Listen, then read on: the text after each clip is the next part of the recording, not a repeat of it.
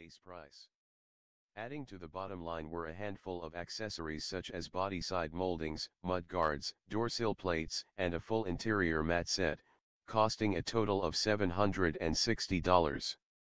A premium audio system with navigation tacked on an extra $525. The XSE's new 7.0-inch touchscreen infotainment system replaces last year's 6.1-inch unit, a new 6.1-inch touchscreen is used in L, LE, LE Eco, and SE models. While the larger display size is appreciated, the multimedia system continues to lag behind competitors, lacking features such as Apple CarPlay and Android Auto. View 105 photos. Arguably, the Corolla's greatest asset is its backseat.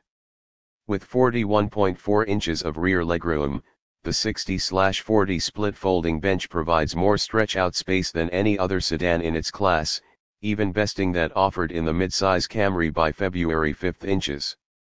An almost completely flat floor makes even the center seating position relatively habitable.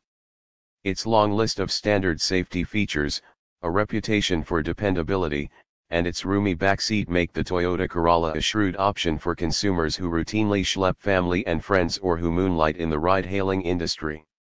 Shoppers in search of modern multimedia technology, passable performance, or any semblance of driving enjoyment, though,